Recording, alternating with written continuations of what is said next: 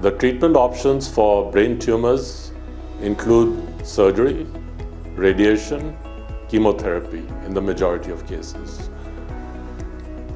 When we are treating patients with tumors, our, uh, all these does entail certain amount of risk and one of the goals of treatment is to try to remove as completely as possible, but at the same time with the maximum safety possible.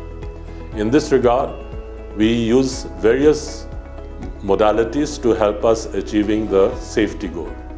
This includes, uh, at the time of surgery, uh, image guidance, which is basically a, a kind of a GPS that we use, wherein we use the digital data from MRI imaging to reach precisely where the tumor is and avoid important structures. Sometimes we also uh, enhance the safety by doing it in an awake patient. We also use various other uh, monitoring techniques like uh, nerve monitoring to enhance the safety. To learn more about your options for, for therapy, you can contact a specialist.